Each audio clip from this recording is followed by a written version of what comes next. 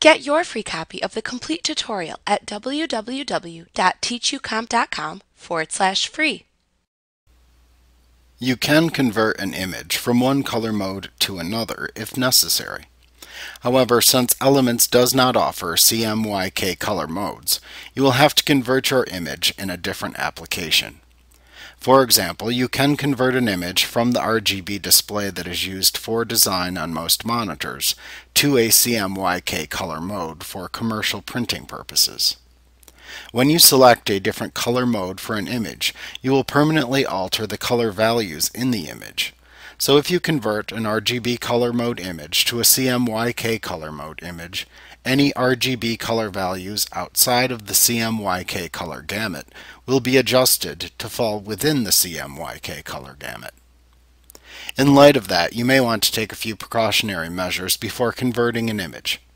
It is usually recommended that you do as much of the editing as possible in the original color mode of the image. Then, save a copy of the file with the original color mode and all of the layers in case you want to edit the original version of the image after the conversion. Then flatten the image file before converting it as the interaction of colors between layer blending modes will change when the color mode changes.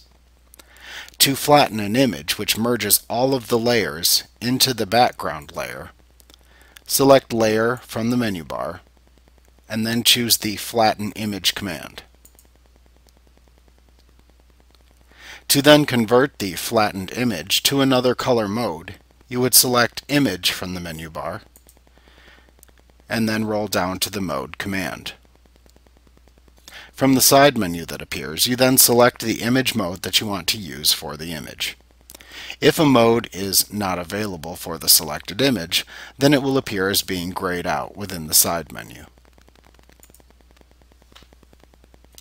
Like what you see? Pick up your free copy of the complete tutorial at www.teachucomp.com forward slash free.